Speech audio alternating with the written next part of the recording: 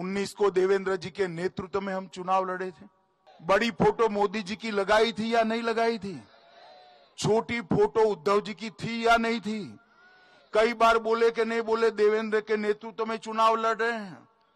मैंने भी हर जगह पे कहा, मोदी जी ने भी हर जगह पे कहा, और चुनाव के नतीजे आए, मुँह में पानी छूटा, सारे सिद्धांतों को तरबतर कर कर शरद राव की शरण में जाकर बैठ गए।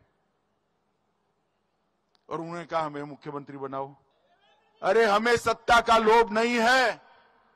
सत्ता के लिए हमने सिद्धांतों की बलि नहीं चढ़ाई है। हिंदू हृदय सम्राट बाला साहब ठाकरे की पार्टी आज शरद पवार के चरणों में बैठ गई थी। और आज समय ने करवट ली है शिवसेना असली बनकर धनुष बाण के साथ भारतीय जनता पार्टी के साथ